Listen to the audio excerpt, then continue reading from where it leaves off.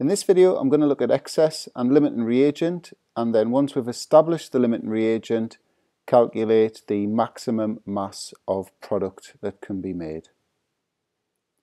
So we'll just explain what the two terms mean. So when you've got two substances that react together it's impossible to have precisely the exact amounts to react completely. One reagent will be in excess and one reagent will be limiting. So the limit reagent is a reagent that runs out first and that's going to limit how much product you can make. The excess reagent, there'll be some left over at the end of the reaction. So we'll move on to the worked example of how to identify the limiting reagent and then after this one I've got one for you to try. So we're going to use this reaction here, the reaction to make urea. So there it is there and let's suppose that we had 10 kilos of each reagent, each chemical used in the reaction. So we've got to work out which is the limiting reagent and which is the excess reagent and then we're going to use that information to work out the maximum mass of urea possible from the reaction. So the first thing obviously is to convert those masses to moles.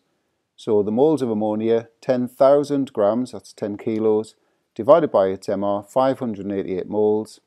Likewise for CO2, 10,000 divided by 44 is 227 moles.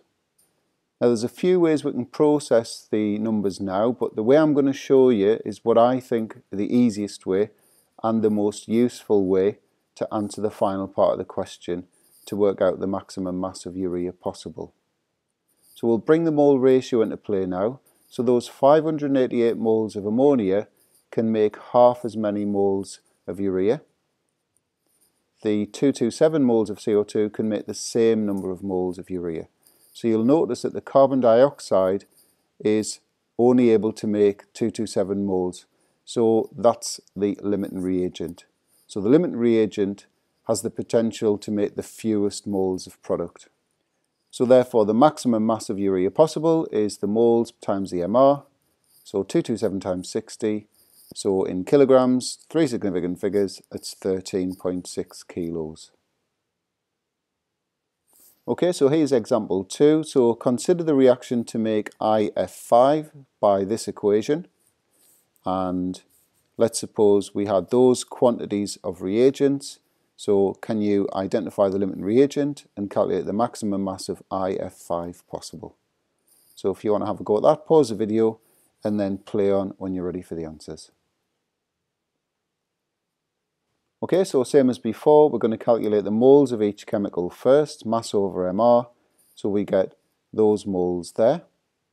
And now we're going to work out the the potential moles we can make from the two molar quantities of SF4 and I2O5. So the ratio of SF4 to IF5 is 5 to 4. So if we multiply this by 4 over 5, we'll get the moles of IF5 possible. And that comes out at that. From the I2O5, that's a 2 to 4 ratio, so in other words 1 to 2, so we just double the 0.0188 and we get that. So you can now see that the SF4 is making the fewest moles of IF5, so that's the limiting reagent. So now we know that's how many moles of IF5 we can make from the reaction. We multiply by its MR and we get 7.70 grams.